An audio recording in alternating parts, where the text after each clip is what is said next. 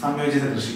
സംയോജിത കൃഷി എന്നാൽ എല്ലാ തരത്തിലുള്ള മരങ്ങളും പഴവർഗങ്ങളും ഇതിനിടവിളയായി പച്ചക്കറികളും ഇതിന് കീഴെ കിഴങ്ങ് വർഗങ്ങളും കൃഷി ചെയ്യും കൂടാതെ ആട് പശു കോഴി പക്ഷി പോലുള്ള മൃഗങ്ങളെയും വളർത്തി എല്ലാം കൂടെ സംയോജിപ്പിച്ച് ചെയ്യുന്ന രീതിയാണ് സംയോജിത കൃഷി. കൂടാതെ തന്നെ ഈ ജന്തുക്കളിൽ നിന്ന് കിട്ടുന്ന വളങ്ങൾ ഉപയോഗിച്ച് തന്നെ നമുക്ക് കൃഷി ചെയ്യാൻ സാധിക്കും.